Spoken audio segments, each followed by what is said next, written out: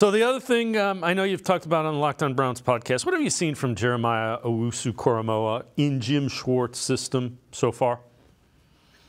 This is going to go for every linebacker to this point, whether it was the first the Hall of Fame game against the Jets or we are seeing linebackers in space. We didn't see this last year, Dave.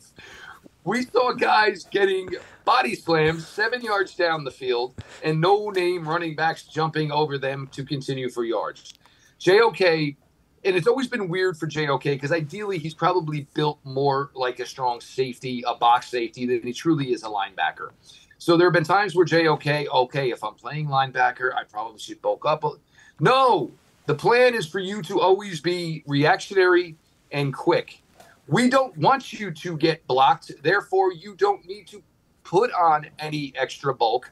Because and now with Jim Schwartz here, I am going to keep them off of you. Uh, against the uh, Washington Commanders, JOK, three solo snap, tackles.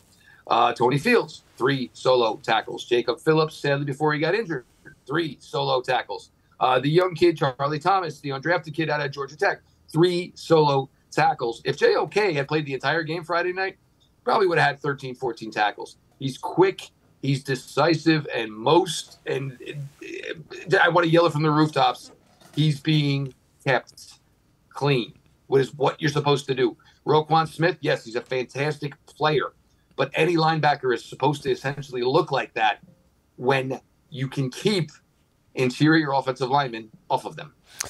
Yeah, the other thing that you saw is that defensive line was starting to play in the backfield of the of the Commanders, and that's that's the goal right there.